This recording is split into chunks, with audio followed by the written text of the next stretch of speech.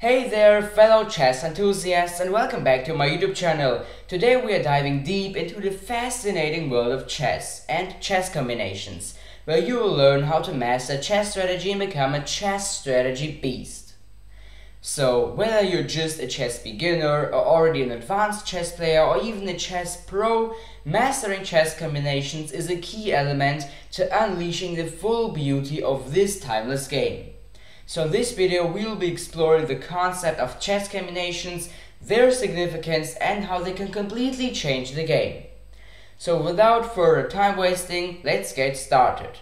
And by the way, if you don't want to miss anything on this YouTube channel, feel free to subscribe and activate the announcement bell, because I'm really trying to reach the 1000 subscribers right now, so that I will be able to produce more chess videos for you and for my community, and to increase the quality of them. Thank you. Chess combinations, as the name suggests, are tactical sequences that involve a forced line of moves or just one forced move, often accompanied by sacrifices of chess pieces. It's within these combinations that the true uniqueness of chess shines through.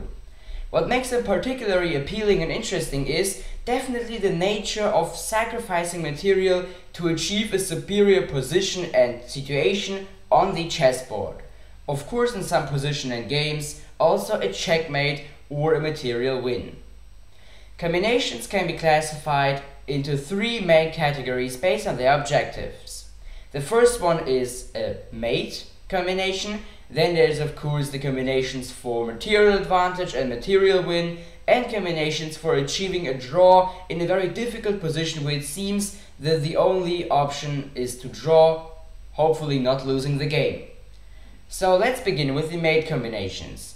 These often resolve around identifying weak squares near the opponent's king. So I will just quickly show you an example now. In the position that you can see right now here on the chessboard, we can see a game from the year 1916, so already more than 100 years old, from a game between the Russian chess grandmaster and world champion with white Alexander Alekhin against another chess player called Feldt.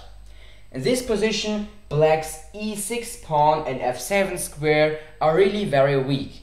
Therefore, the master of chess combinations, Alekhin, finds the crazy move sacrificing his knight by moving with the e5 knight on f7, just completely sacrificing it but also attacking the black queen on d8.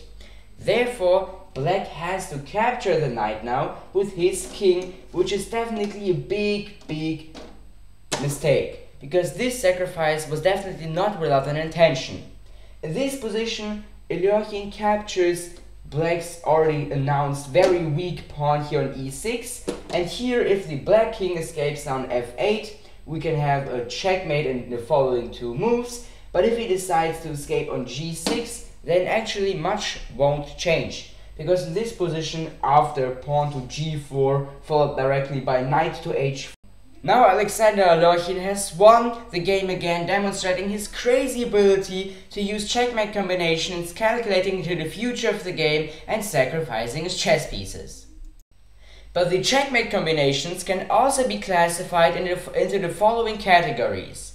There are the combinations including weak squares, like I've just shown you with the example from the game between Alexander Alekhin and Feldt from the year 1916, then there are also distractions and the opening of the king's position. But now let's at first take a look at combinations including distractions on the chessboard. In this case, the chess piece who has the most important task is definitely the one that distracts the opponent's army from defending a strategic point or another chess piece on the board from their own army, which can lead to a mate, so a checkmate, or a major material loss.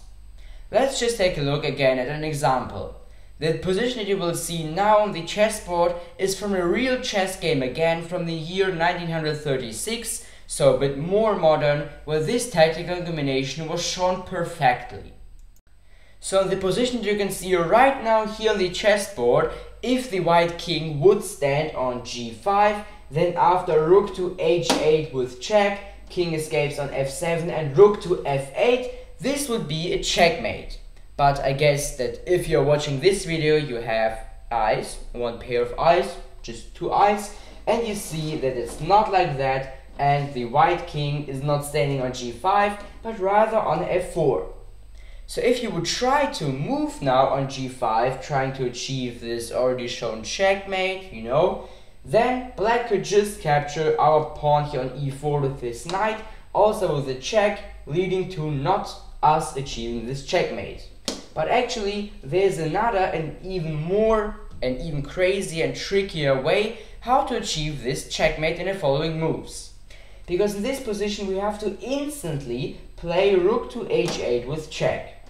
So here the black king is forced to escape on the only possible square, which is f7, and here we don't play rook to f8 because our knight here on g6 is not defended by our king. Therefore white plays even crazier move, bishop to e8 with check, distracting the black knight here on f6 from capturing our pawn here on e4 because in this position he's at first forced to capture our bishop here on e8, on which we can just do what?